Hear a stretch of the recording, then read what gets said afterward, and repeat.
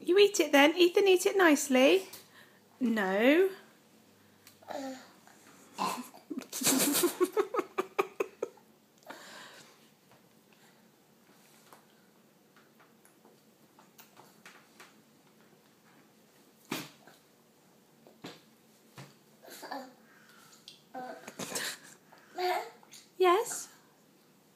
welcome.